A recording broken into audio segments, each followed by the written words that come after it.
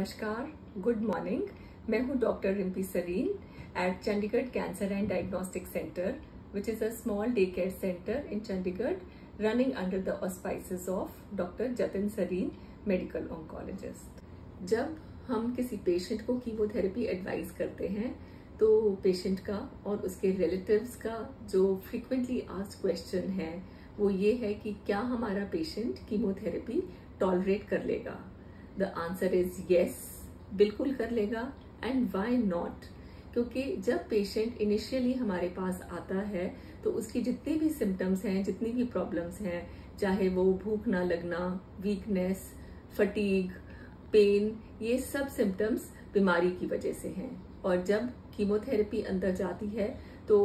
उसका एक्शन बीमारी पर होता है। वो बीमारी वाले सेल्स को डिस्ट्रॉय करती है और उससे पेशेंट के सारे सिम्टम्स रिजॉल्व होने लग जाते हैं।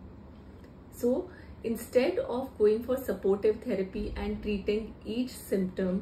it is better कि अगर पेशेंट को एडवाइस किया गया है और जाँच पड़ताल करके देखा गया है कि वो कीमोथेरेपी ले सकता है तो पेशेंट को ये ऑप्शन ज़रूर लेना चाहिए बिकॉज़ कीमोथेरेपी के बारे में जितनी भी ये मिथ्य धारणाएँ हैं, ये सब आपने और लोगों से सुनी होती है जिन्होंने ये ट्रीटमेंट कभी नहीं लिया है। तो अगर आप बीमारी की ट्रीटमेंट का ऑप्शन लेना चाहते हैं और एक बेटर लाइफ चाहते हैं बाद में तो आपको कीमोथेरेपी का ऑप्शन ज़रूर लेना चाहिए। कैंसर से रिलेटेड जितने भी इश्यूज़ हैं और कीमोथेरेपी से रिलेटेड जो साइड इफेक्ट्स हैं या जो कॉम्प्लिकेशंस हैं या जो फ्रीक्वेंटली आस्ड क्वेश्चंस हैं, उनके बारे में डिटेल में जानने के लिए आप सब्सक्राइब करें हमारा channel C C D C sec thirty three at Gmail dot com और doctor Jatin Sareen medical oncologist तो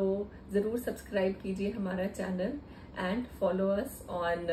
YouTube and Facebook thank you